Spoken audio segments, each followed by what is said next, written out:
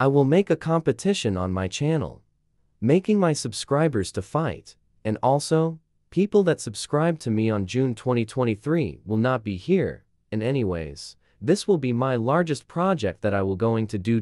So the project will be done soon. So anyways, say you guys later.